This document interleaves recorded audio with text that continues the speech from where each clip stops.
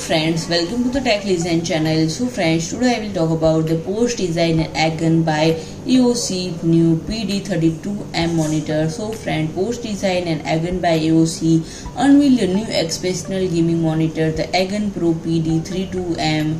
And friend, it is a 31.5 inch display and friend, it features a unique design inspired by characteristics and details of Porsche sport car and friend it features a flat IPS panel reproducing 1.07 billion colors to display even subtle difference in hues and it is also highly color accurate with 97% coverage of DCI P3 color space to achieve lifelike colors and shades. And friend with the integration of the state-of-the-art mini LED backlit technology the monitor features 1152 dimming zones which can individually light up according to image content. And friend proven to display both blinding sunlight and very intense black shadows. In the same frame the PD 32M is certified with the top of the line HDR certification display HDR 1400 and friend it will be comes with up to 1400 nits peak brightness it drops the common 300 nits brightness of modern gaming monitors and friend